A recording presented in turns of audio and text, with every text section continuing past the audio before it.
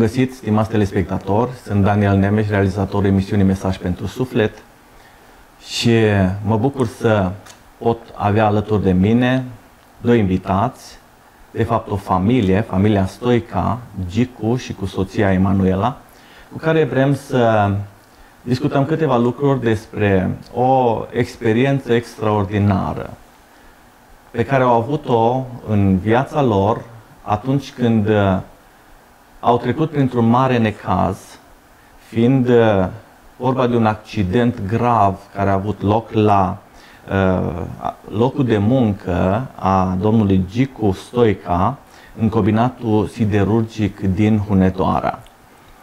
Pentru început uh, le spun bun venit și dorim ca Domnul să vă binecuvinteze.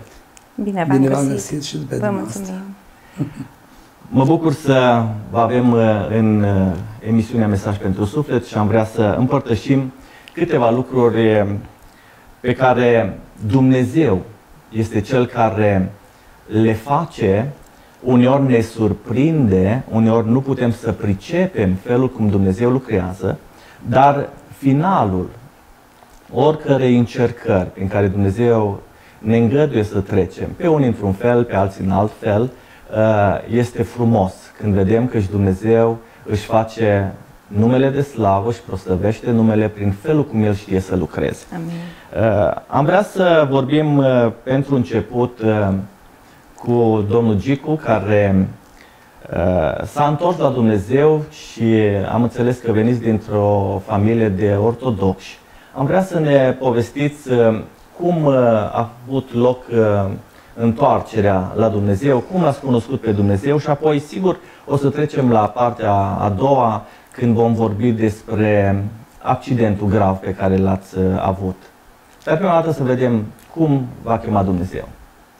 Da, cred că era anul 1988 când s-au întors la domnul socrii mei și în momentele acelea când ne spunea să, merge, să mergem și noi la adunare, uh, când încerca să o convingă pe soția mea să se pocăiască, eram foarte furios împotriva lor pentru că uh, mă gândeam eu că ascultă mai mult de părinți decât de mine, așa că într-o seară când s-au adunat la rugăciune în casa lor, era cer de rugăciune, se adunaseră frați și surori acolo ca să se roage. Ne-au surprins și pe noi acolo și ne-au spus să rămânem. În momentul acela pot spune că mi s-a pus omul de fața ca și la Cain, a întrântit ușa la apartamentul lor și a rostit următoarele cuvinte. Lăsați-mă pace cu pocăința voastră, nu veți reuși voi să mă pocăiți niciodată pe mine. Ulterior, soacră mea spunea că în acea seară Duhul Domnului, printr-un proroc, a vorbit în dreptul ei în felul următor. Fiică, nu te teme de leul acela care luptă așa de mult împotriva voastră, pentru că nu după multă vreme aici va veni și își va plânge păcatele. În anul acela însă, n-am vrut să ascult de chemarea pe care mă făcea Dumnezeu.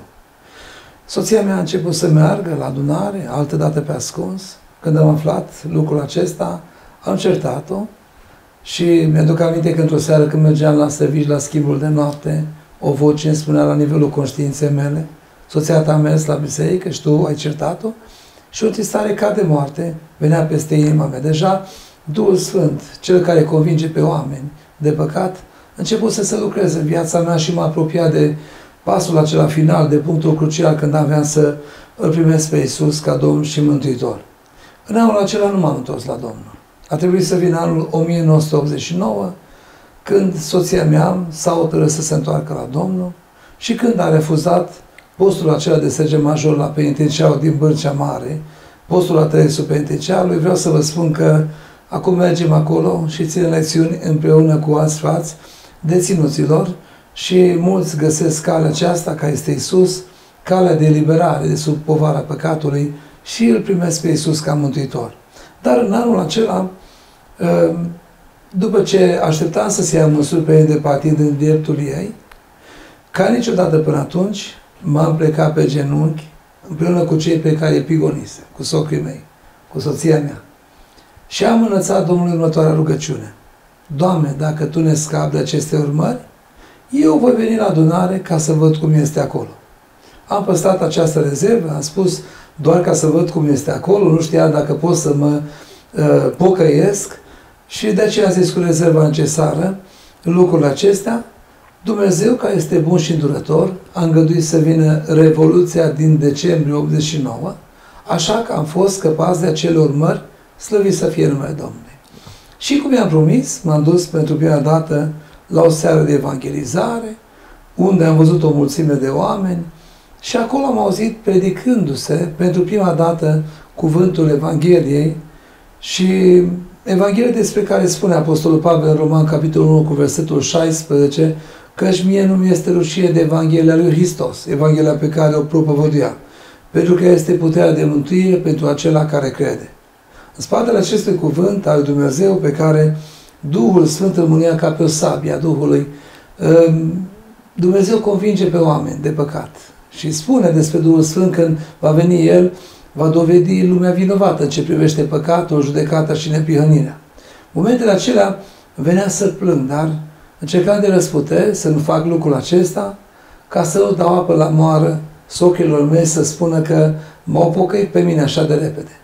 Nu m-am predat în prima seară pentru că erau ei de față, a doua seară însă, când am înțeles că ei nu merg la adunare, pe furiș m-am dus la acea seară de evangelizare. Și când s-a făcut marea aceea obișnuită, dacă vrea cineva să se predea Domnului Isus, să ridice o mână sus, a ridicat mâna și în momentul acela, nu altă dată, am putut să spun din toată inima mea, Domnul este păstorul meu. Nu Domnul va fi păstorul meu?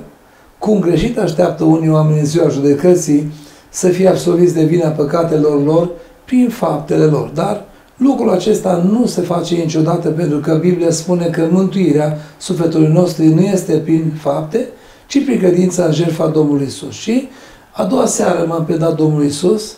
În prima s-a mai întâmplat un eveniment semnificativ pentru mine. Spunea predicatorul, dacă este cineva bolnav în sală, să iasă în față, noi ne vor ruga Domnul Isus și El poate să vindece orice boală. Jucam fotbal prin județean, era o firmă impulsivă, avea probleme la supraefort cu inima și spuneam în mintea mea așa, Doamne, știu că Tu poți să mă vindeci de boala de inimă de care sufăr. Dar dacă voi ieși în față acolo, nu cumva în sală, vor fi oameni ce vor spune ca și mine odinioară. O, oh, oamenii ăștia ies în față, spun că sunt vindecați ca să atragă pe alții la pocăiți și n-am ieșit în față. Dar Dumnezeu, ai cărui ochi sunt trimiși în tot pământul, cunoștea gândul meu și intenționat predicatorul nu drepta mâna spre surori, ci spre bărbați unde eram și îi spunea, dacă n-ai avut curajul ca să ieși, ă, în locul în care ești, pune mâna pe locul bolnav. Noi ne vor ruga Domnul Isus și El te poate vindeca. A pus mâna pe inimă, s-a rugat pentru noi, am stat vreo două săptămâni de zile pentru că noi trebuie să fim credincioși, nu creduli. Și când am văzut că nu mai sunt simptomele bolii, am zis soției mele, Domnul Iisus Hristos m-a vindecat. De atunci a trecut prin 23 de operații, care de care mai grele. Vreau să vă întreb uh, ce v-a determinat să vă întoarceți la Dumnezeu? Care a fost uh, momentul în care ați decis să îl slujiți pe Dumnezeu? Încă de când părinții mei s-au întors la Dumnezeu, ei nu au încetat să postească și să se roage pentru noi. Dacă suntem aici, suntem răspuns la rugăciunile lor. Pentru că Dumnezeu este acela care ascultă rugăciunea și rugăciunea celui neprihănit are mare putere. Duhul Sfânt a început să mă cerceteze, să mă convingă Chiar dacă eu mă consideram un om credincios, am avut o educație moral creștină, uh, frecventam biserica ortodoxă, făceam bine ori de câte ori puteam, uh, totuși uh, când am avut, când m-am întâlnit cu Domnul Isus, când am început să citesc Biblia, o citeam mai mult ca să îi combat pe părinții mei și să le spun că nu trebuie neapărat să mă pocăiesc, că eu sunt un om bun și moral. Dar uh, t- tot eu, adâncindu-mă în învățătura uh, Bibliei, am înțeles uh, că trebuie să mă întorc la Dumnezeu cu toată inima și cu tot sufletul meu. Uh, Dacă înainte uh, aveam alt sistem de valori și aveam o altă ordine a priorităților, acum am înțeles că Dumnezeu trebuie să fie pe primul loc în viața mea și după aceea familia și biserica. Ați fost uh, prima care ați decis uh, din familie să vă întoarceți la Dumnezeu? Eu am început să mai merg la adunare împreună cu mama mea, dar uh, soțul meu uh, întotdeauna mă certa și nu era de acord cu asta. Uh, Când Duhul Sfânt a început să mă cerceteze, am înțeles care este planul de mântuire al lui Dumnezeu pentru oameni. Am înțeles că la Golgota s-au întâlnit justiția lui Dumnezeu cu dragostea sa. Dumnezeu este un Dumnezeu drept și sfânt. Și uh, uh, datorită naturii lui, uh, în uh, natura lui, de, în sfințenia lui, Dumnezeu trebuie să pedepsească păcatul. Dar tot el, în dragostea sa, a dăruit ce a avut mai scump, acolo la Golgota, pe Fiul Său, pe Iisus Hristos, ca prin jertfa Lui, prin sângele Lui, să putem să avem intrare la Tatăl, să primim iertarea de păcate. Foarte frumos. uh, Deci Dumnezeu este Cel care v-a chemat pe fiecare în parte, deși erați o familie. A- Soția a decis prima să se întoarcă la Dumnezeu și după aceea Dumnezeu a continuat să lucreze ca să fiți o familie unită și să-L slujiți pe Dumnezeu. Foarte frumos, așa lucrează Dumnezeu și cum lucrează Dumnezeu nu știe nimeni să lucreze. Acum, uh, pentru că am înțeles, v-ați întors la Dumnezeu. Uh, Biblia spune că toți oamenii care vin la Dumnezeu, ei uh, nu sunt scutiți de necazuri. Da? Biblia spune că toți oamenii au necazuri, și cei credincioși și cei necredincioși. Uh, Am vrea să vorbim despre mm, necazul prin care ați trecut. După ce l-ați cunoscut pe Dumnezeu, ați cunoscut bunătatea lui Dumnezeu, uh, când a fost momentul în care ați fost înștiințați de ceea ce urma să se întâmplă și cum a fost uh, înștiințarea aceea? Da, ca să ajungem acolo, doar câteva cuvinte despre timpul sau anii care au trecut până în momentul respectiv. Deci în anul 1990, undeva prin iulie, ne-am botezat împreună cu soția mea în apă. Așa. Am încercat să recuperez timpul de 29 de ani pe care l-am trăit în lume, pentru ca la rândul meu să pot să fiu de folos și pentru mântuirea altor persoane.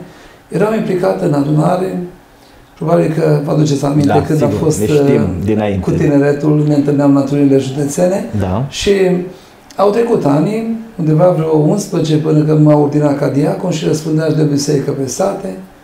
Și în anul 2001 am avut un mesaj din partea Domnului în care ni se spunea că fiecare membru al familiei noastre va fi încercat de la mic la mare și vom suferi cu toții. Când în anul 2002 am trecut prin două intervenții chirurgicale, eu m-am gândit că lucrul acesta s-a împlinit. Dacă am fost în spital, cu toții au suferit, dar n-a fost să fie așa. În anul 2003, în data de 13 martie, într-o joi seara după biserică, un frate m-a așteptat în parcare și mi-a zis, frate Gicule, am visat azi noapte că eram la tine la servici. Contabila șef îl întreba pe el, unde este Gicu Stoica pentru a face încheierea de lună? Și el a zis, Doamne, nu mai vine multă vreme pentru că a avut un accident foarte grav. Când am auzit lucrul acesta, i-am spus, frate, viața mea este în mâna Domnului, oricum mă pot ascunde de el, facă-mi Domnul ce vrea. Am vrut să le iau cu mine cu mașina, dar de teamă că se întâmplă un accident iminent în drumul spre casă, n-a vrut să urce mașina, așa real îi se părea visul respectiv. A încercat să motiveze că merge la un magazin, haide că ești în dreptul meu, te duc acolo. Nu, nu, nu se vedea pe el teama aceea, nu vrea Era să urce frică. în mașină. Da. A doua zi, cum aveam de obicei, gura mea nu a tăcut, Uh, am spus colegilor mei despre Dumnezeu, le-am istorisit și visul acestui frate și pe la ora 12 și jumătate ziua m-am dus în spatele cuptorului electric numărul 3 unde se topesc 100 de tone de fier vechi. Eram uh, șef de echipă la întreținere cuptoare, colegii mei uh, s-au dus acolo să rezolve ceva probleme. Când m-am dus și eu, tocmai ieșise uh, oala de socuptor, era plină, 100 de tone de fier vechi, până când se topește până când ajunge la 1800 de grade Celsius și curge ca lava unui vulcan, într-o oală înaltă de 5 metri. Când am ajuns acolo, colegii erau afară din hală, dor sudorul l-a dăpostit undeva lângă un stâlp, până când urma să treacă macaraua cu oala în cârlice, pentru a fi dusă la locul acela de turnare. M-a adăpostit și eu sub o pasarele la Macaragi, când, deodată, după o deplasare de câțiva metri a Macaralei, s-a produs o explozie foarte mare în oala cu uh, fier topit. Oțel. Cu oțel topit, Topit. da. Ulterior s-a constatat că datorită varului care nu a fost stins suficient de bine, când l-au dat pe șgheaburile respective în oala aceea, s-a produs gazele respective și apa din piatra de var care n-a fost calcinată suficient, hidrogenul și oxigenul este bucurată în contactul cu fierul topit. Pe distanță de zeci de metri, în toată hala, ca dintr-un vulcan ce rupe. În momentul exploziei, erau împroșcate, să spun așa, fragmentele respective, care căzând pe sol, din nou răbufneau în aer, era un iad pur și simplu acolo. De pretutindeni, atât eu cât și colegul meu eram izbiți din toate părțile de fragmente lichide grele care, pelingându-se pe hainele noastre, ne-au luat hainele foc. Eu eram într-o zonă mai spusă și primeam cu groază cum din mantaua aceea, din oala aceea perforată deja, se scurgea lava aceea incandescentă în hală și cu repeziciune se îndrepta spre picioarele mele, spre bocancii mei. Eram la un moment dat cu bocancii, cu picioarele, într-o baltă de fier topit. Au, a pătruns soțelul și la călcăie, a fost arsă carnea, după ce s-a curățat a rămas sosul gol și acum, dacă mă lovesc, mă doare uh, foarte mult și în momentul acela, când eram cu picioarele în lava aceea topită, un fragment mai mare m-a lovit în cască, mi-a topit casca, a căzut jos și în momentul acela m-am prăbușit și pe spate în lava incandescentă. Extraordinar. Acum, aș vrea să-și imagineze, dragii noștri ascultători, dacă se opăresc cu apă la 100 de grade Celsius și ce dureri grozave simt ei, dar de 18 ori mai mult și aceasta cu metal incandescent.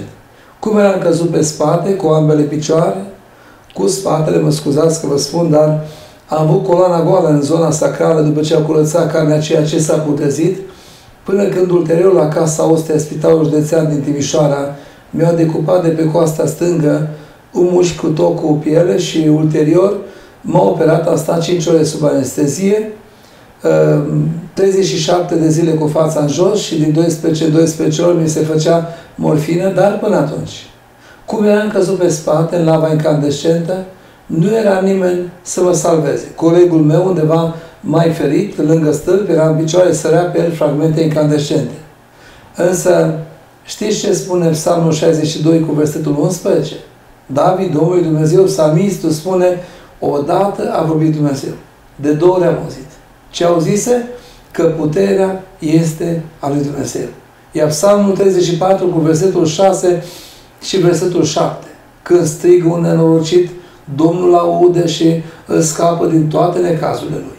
Însă mai scrie ceva în versetul 7 acolo, Îngerul Domnului tăvărăște în jurul celor ce se tem de el și scapă din primește. La un moment dat am băgat mâinile în lava incandescentă, n-am putut să mă ridic, uitați-vă, s-au topit, care de la mâini, oasele, au fost topite, unghiile carbonizate le-am spus ulterior, n-am putut să mă ridic. Deci erați în oțelul ăla pe spate Da. și tot uh, oțelul ăla era în flăcă. Lua Deci era, foc. l-a luat Da, foc. luasem foc eu. Da, și inclusiv mâinile și Am băgat mâinile în lava incandescentă, s-au topit. extraordinar. Însă, în momentul acela, așa cum am reamintit din Psalmul 34 cu 7, două mâini văzute, am simțit că mă apucă de subsor și mă smulge pur și simplu, mă ridic în picioare, Din lava aia. din lava aceea. Eram în flăcări, pot spune ca un cascador, așa m-a legat spre gura halei și în timp ce alergam, mi-am aruncat pufoaica arzândă ce a fost arsă la spate, așa că din singurul loc de unde n-am avut rană jur împrejurul bustului, mi-au făcut ei rană, ulterior luând un fâșii de piele de jur împrejur, uh, de jur împrejurul bustului, ca să-mi pună pe zonele arse și curățate ulterior. Um, Numai puțin. Da. Momentul când ați auzit că a avut soțul un accident, ce ați trăit? Care au fost stările pe care le-ați avut uh, în momentele acelea? Ce v-ați gândit? Eram îngrozită de vestea care m-a lovit ca un fulger. Simțeam că mi se topește inima de durere. La spital m-au lăsat doar până în cadrul ușii să-l văd. Uh, când m-am uitat peste cei trei pacienți care erau acolo în salon, am spus, soțul meu nu este aici, pentru că nu l-am recunoscut. Uh, când i-am auzit vocea zicând, Emma, eu sunt, am început să plâng și să țip, pentru că era ca un monstru, era tot umflat și negru, cop, tot. Și atunci asistentele au venit și m-au scos afară din salon. Le tot rugam să-mi spună care este starea lui de sănătate, ce șanse sunt, dar ele nu vreau să-mi dea niciun fel de informație, pentru că doctorul le interzis să-mi spună că va muri. A doua zi, când am stat de vorbă cu domnul doctor, uh, a zis nicio șansă de viață pentru Stoica, uh, cu mai multe șanse pentru colegul său. Atunci am simțit că mă prăbușesc și am început să plâng și ziceam, Doamne, dar de ce e așa? Tu știi că soțul meu a fost trup și suflet pentru lucrarea ta. De ce nu o zis măcar cu mai multe șanse pentru, pentru Gicu? Și atunci așa am auzit ca un glas, ca să vadă oamenii că cel la care medicul i-a dat șanse va muri, dar cel la care nu i-a dat șanse și l-are pe Dumnezeu va trăi. Extraordinar. Deci ai fost cel mai grav dintre Da, toți care au fost da. Doi am accidentați. fost azi și în salon eram trei, o altă persoană astăzi în altă conjunctură. Um, Eu uh, m-au prăbușit colegii în gura hale, m-au stins cu hainele lor focul ce mai era pe mine pentru că vreau să ies afară din hală și în contactul cu aerul mă prindea mai mult. Uh, M-au pus pe targă și în ambulanță.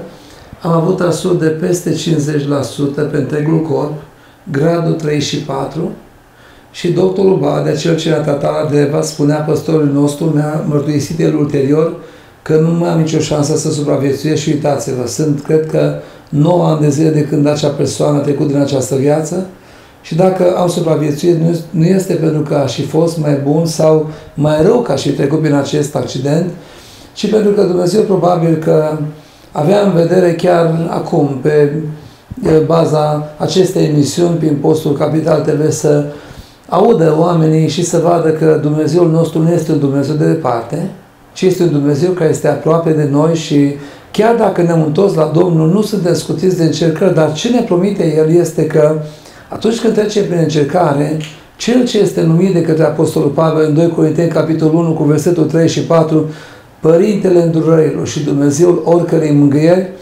ne mângâie necazurile noastre pentru ca la rândul nostru să mângâiem pe cei ce se află în vreo necaz.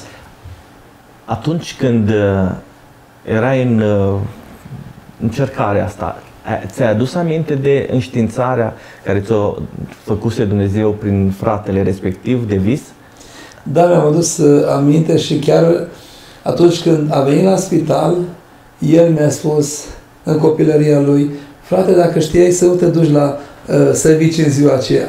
Dar am început să râs și am zis, Dumnezeu, oricum, făcea să se întâmple aceste lucruri. Mi-am adus aminte și de uh, înștiințarea care a fost atunci în anul 2001, când uh, ni s-a spus că fiecare membru al familiei noastre va fi încercat de la mic la mare și vom suferi. Mi-au adus aminte și de visul fratelui, dar uh, acum aveam întrebările mele în mintea Normal. mea și spuneam, Doamne, Tu știi că eram așa de implicat în adunare încât spuneam soției mele, parcă nu mi-ajunge timpul să slujesc, aveam și servici și ea spunea, dar spune la păstor să dea o cameră și mută-te la biserică. Atunci când m-am accidentat, spunea, "Ehm, Doamne, ridică de la pat pentru că oriunde va merge, îl voi lăsa să meargă. N-am putut să mă cer cu Dumnezeu, aveam cuvântul Domnului în inima, în mintea mea eh, și mi-am dus aminte că toate lucrurile lucrează împreună spre binele nostru, spre binele celor ce iubesc pe Dumnezeu, adică a se înțelege binele nostru veșnic Da. nu binele apropiat, nu? Cum Da, gândim sigur. noi că de ce s-a întâmplat așa. Uh, Suferiți pedeapsa, Dumnezeu se poartă cu voi ca și cu niște fii și chiar între stările noastre ursoare de o clipă lucrează tot mai mult o greutate veșnică de slavă. N-am putut să mă cer cu Dumnezeu, doar vreau să văd care este scopul acela pentru care Dumnezeu m-a trecut pe aici. Și vă spun că în spital la Deva acolo, uh, patru luni de zile mi-au băgat sânge. Deci frații din Mădoara s-au dus și au donat sânge cu zecile uh, și din două în două zile îmi băgau câte 500 de mililitri de sânge, că nu băga sânge, băga plasmă. și zilnic 8 sau 10 jumătăți de lichid era o masă de carne sângerândă în putrefacție. Când s-a dus maestru împreună cu colegii să facă același lucru, se întreba asistenta de la recoltări, cine este domnul omul ăsta de vine așa de multă lume să doneze sânge pentru el și n-am mai luat decât prin selecție colegilor mei. Zilnic eram uns cu fi, pasat cu pasamente, apoi când se deau pasamentele respective, le smulgeau cu tot cu carne asă profunzime, carne care mirosea cadavrul, la toți de se făcea rău când veneau să mă viziteze, când țipa, urla și mă ruga Dumnezeu, Doamne, nu mă lăsa să-mi pierd mințile. Timpul acesta, frații din Hunedoara s-au rugat, au postit și Duhul Sfânt a vorbit printr-un proroc în Hunedoara, nu va muri, ci va trăi ca să spună cum a lucrat în viața lui. Vrem să continuăm și să vedem felul cum Dumnezeu a lucrat și uh, și-a făcut numele de slavă și a proslăvit numele, pentru că uh, Dumnezeu spune că cu niciun chip nu te voi lăsa, cu niciun chip nu te voi părăsi. Astea sunt făgăduințele lui Dumnezeu pentru credincioși, pentru cei care îl slujesc pe Dumnezeu. Aici este dovadă clară că și Dumnezeu a fost cel care uh, a ținut făgăduința în dreptul lui fratele Gicu. Da, cel mai important lucru pentru un credincios este ce spune Psalmul 66 cu versetul 9, Binecuvântat să fie Dumnezeu care ne-a păstrat sufletul cu viață. Atunci când treci prin încercare, printr-un astfel de accident, uh, mulți oameni sunt care și cred că Dumnezeu i-a părăsit, că Dumnezeu i-a pedepsit. Dar credincioșii au altă uh, viziune, altă încredințare despre ceea ce lucrează Dumnezeu în viața lor și dacă ai nădejde aceasta și nu-ți pierzi speranța vieții veșnice, atunci lucrul acesta este cel mai important. Când eram în salvare și ne îndreptam spre secția chirurgie plastică la Deva, colegul meu Sudorul, chema Sandu, era catolic, îmi spunea în gândul mergii că și eu am visat un visat noapte, se făcea că se accidentase împreună cu un coleg de al nostru, nu eram eu, i-a arătat Dumnezeu sugestiv, au fost duși la spital și uh, colegul acela a ieșit și l-a murit. Cum eram cu fața neagră, asta și umflată, cu buzele ase, ochii între deschiși și spunea Sandu, dacă te încrezi în Dumnezeu, El te poate scăpa. Ajung la spitalul din Deva, îi spuneam despre Domnul Iisus Hristos și îi spuneam Sandu, singurul mijloc prin care putem să fim salvați de largul cel veșnic este să primești pe Iisus ca Mântuitor. L-am primit pe Domnul ca Mântuitor și am făcut o rugăciune, aveam ochii plini de lacrimi, de fapt eram cu fața în sus, nu puteam să mă dau jos din pat, Eram un cadavru viu, să spun așa, doar la patru luni de zile m-au dat alții jos să fac câțiva pași.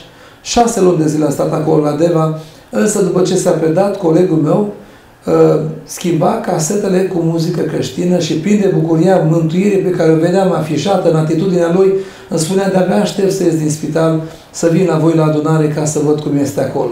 La 23 de zile însă, în dimineața aceea, parcă văd, stătea la marginea patului și îi spunea din nou îngândurat, nu știu ce se întâmplă cu mine, dar azi noapte, spunea el, m-a visat îmbrăcat în alb. Știa amănuntul acesta că era în curtea spitalului de la Deva, unde eram noi internați, și că în curte, în fața lui, era săpată o groapă, peste care nu putea sări ca să iasă pe poartă de la curtea spitalului. M-am bucurat foarte mult și am zis, Sandu, erai numai bine îmbrăcat pentru botez dar deși el avea doar 110 unități de gaze băgate în plămâni sau în sânge, nu mai știu cum, și aveam 190 și nu mi s-au dat șanse că supraviețuiesc, la 28 de zile a făcut, cred că, eden pulmonar sau embolie pulmonară și a trecut din viața aceasta. Dar mă bucură faptul că s-a visat îmbrăcat în alt și cred că într-o zi mă voi întâlni cu el în Împărăția lui Dumnezeu. Pentru cei ce ne ascultă, însă, aș vrea să le spun că Ziua de mâine Dumnezeu nu promite nimănui, nici clipa următoare, de asemenea, și de aceea să asculte glasul lui Dumnezeu care spune în Biblie, în Proverbe 23 cu 26, Fiule, fiică, dă inima ta și ochii tăi să găsească plăcere în căile mele. Și astăzi, dacă auzi glasul meu, nu se piete inima. Și Domnul să-l ajute la lucrul acesta.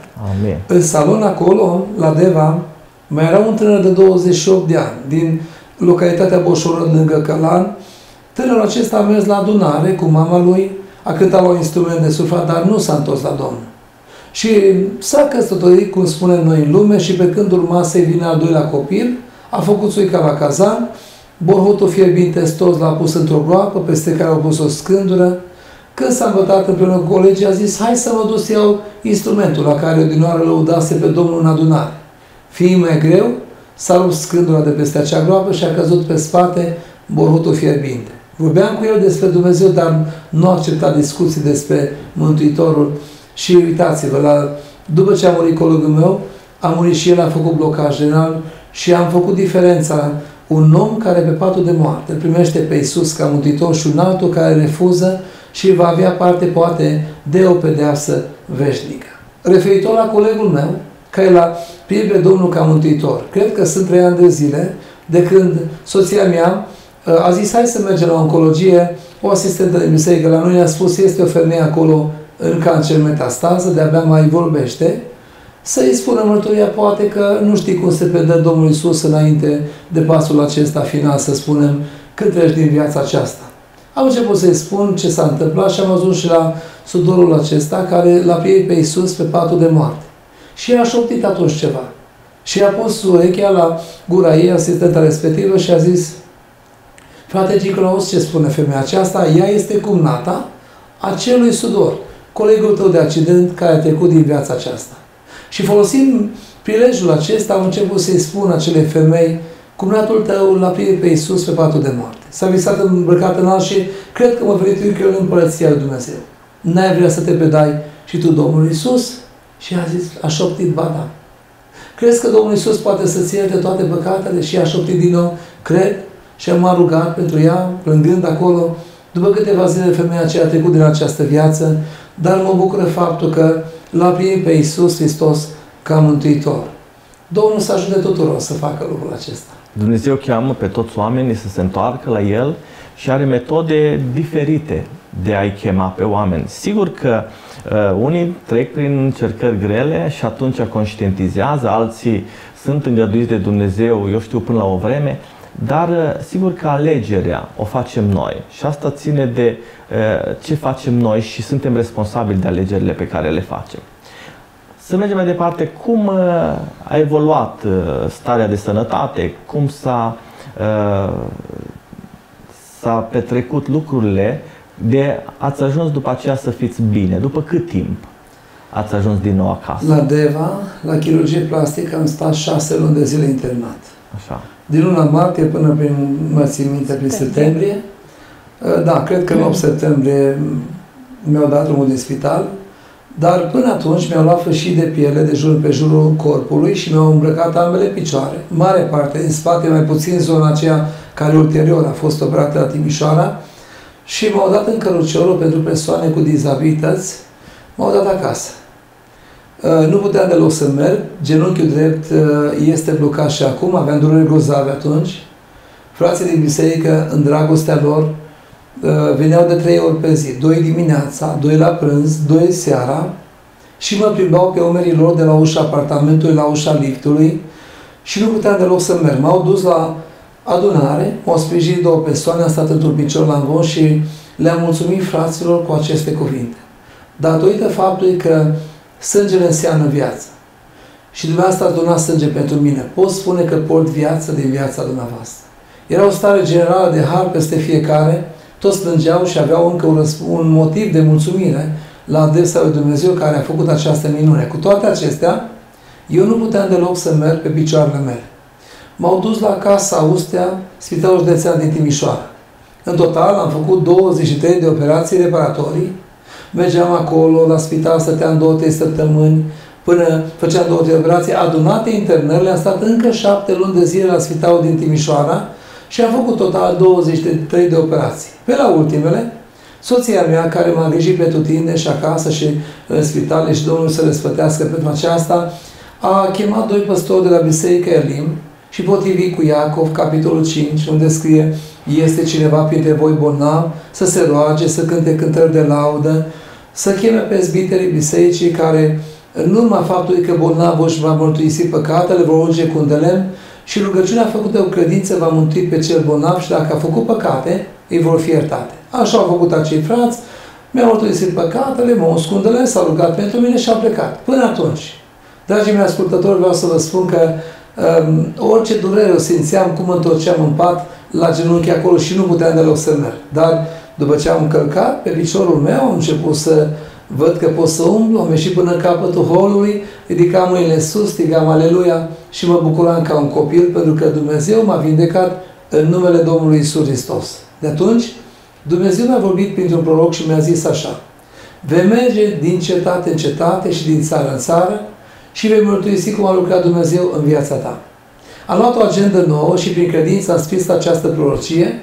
Am scris și fapte, capitolul 1, cu versetul 8 acolo, unde scrie și voi veți fi martori când se va pogoră Duhul Sfânt peste voi în Ierusalim, Iudeea, Samaria și până la marginea pământului. Am făcut patru rubrici în acea agendă și am scris de câte ori am predicat Evanghelia în Ierusalim, adică în Hunedoara, de câte ori în Iudeea, adică în regiunea Hunedoara, în județ, de câte ori în Samaria, în țară și de câte ori până la marginea pământului. Și am început să umblu cu mașină cu alte persoane, am avut și o altă mașină modificată cu care am călătorit în 5 ani de zile vreo 284 de mii de kilometri și am avut accident cu ea, de fapt alții au fost vinovați.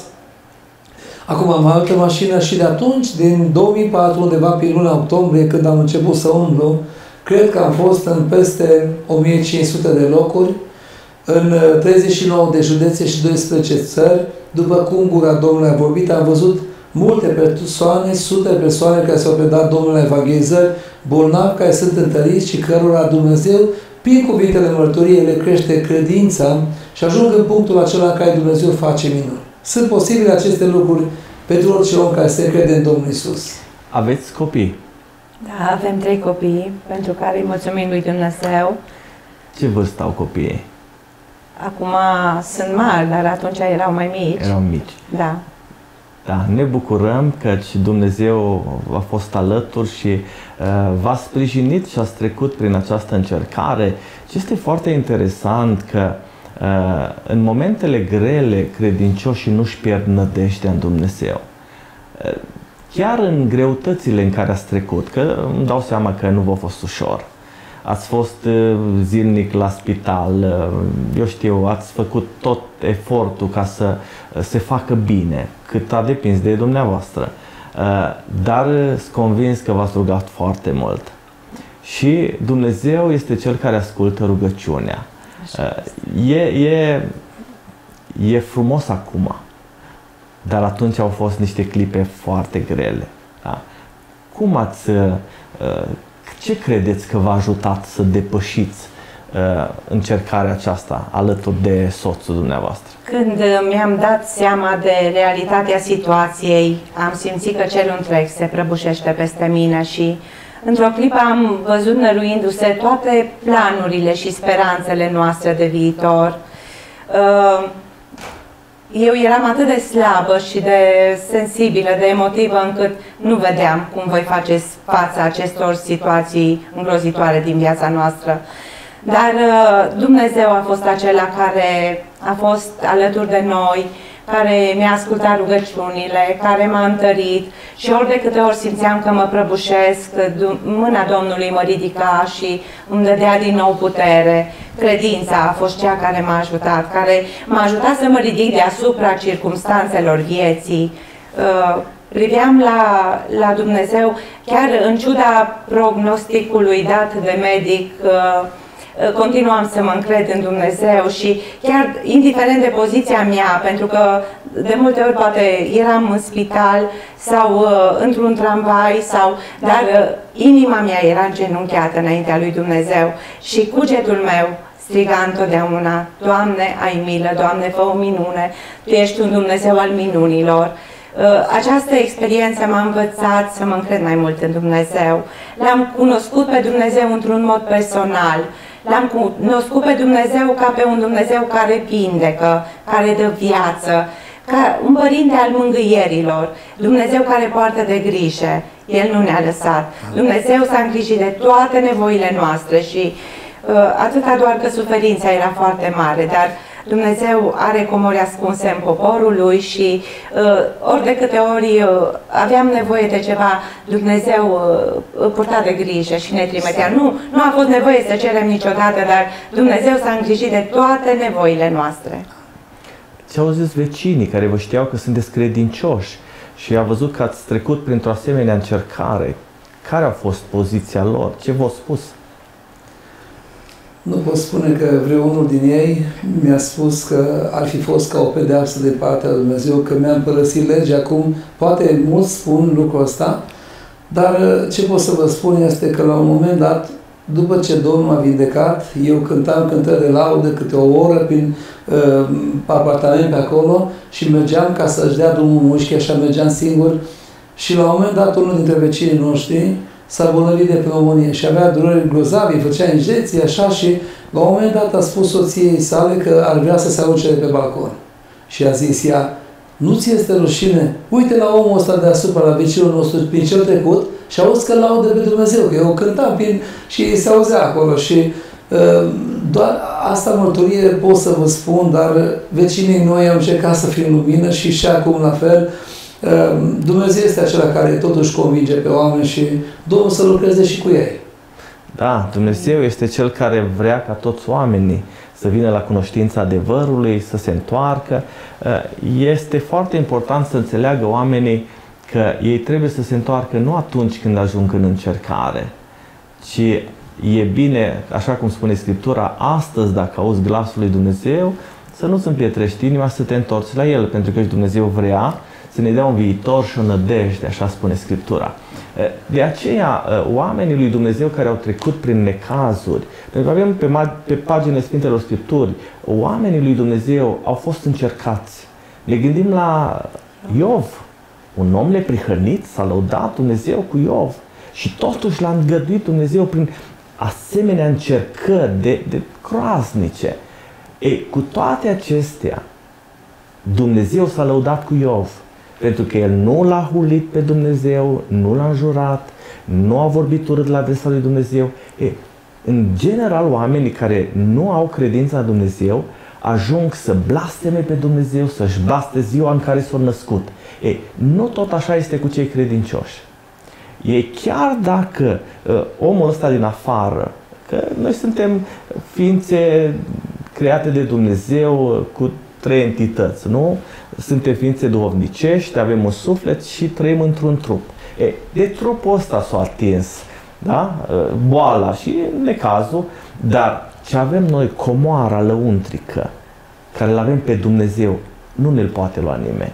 Aleluia. Aici e frumusețea trăirii a vieții de credincios cu Dumnezeu, nu-i așa? așa? Pentru că viața asta trece, îmbătrânim, oricum trupul ăsta se, se degradează în timp, dar ce este mai valoros, sufletul nostru. Tocmai de aceea noi facem emisiunea Mesaj pentru Suflet.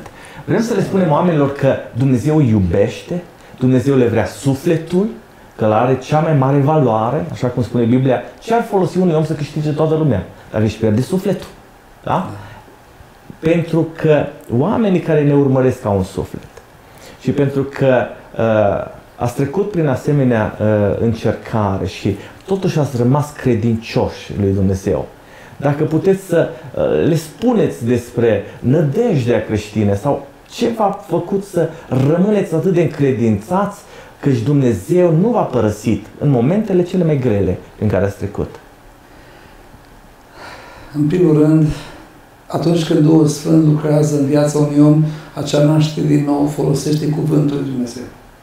De aceea, dacă vreau să spun ceva ascultătorilor, în primul rând ar trebui să ascultați de cuvântul Scripturii, care spune că singura șansă ca omul să își câștige sufletul, să meargă în rai cu Dumnezeu, este să-L primească pe Domnul Isus Hristos ca Domn și Mântuitor.